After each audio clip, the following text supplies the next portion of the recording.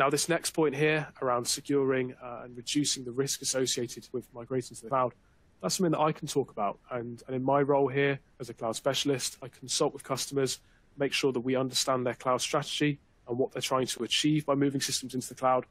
And we make sure that they fully understand how we can support them and how we can help secure those systems when they're moving to the cloud. I think it's important to stress that when we talk about verification, we're not talking just limited to on-premises systems. We're talking about holistically looking at how a piece of software is put together.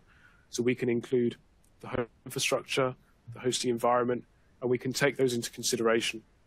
Not just for the escrow deposit, if that might be things like root level access credentials to a cloud environment, a replicated tenancy, infrastructure as code, different components that are going to build up the infrastructure, but also looking at how we can verify those and document that they are complete and correct and can be rebuilt into the, the working system. So I think that's an important thing to cover. A lot of customers, when we talk to them about cloud migration, they're concerned about these shorter term impacts of how a supply chain breakdown might be felt. If a supplier were no longer there, it's not just about the continued maintenance or the build of a system from the source code, but actually how do I keep the lights on? And I think that really highlights the importance of the verification here.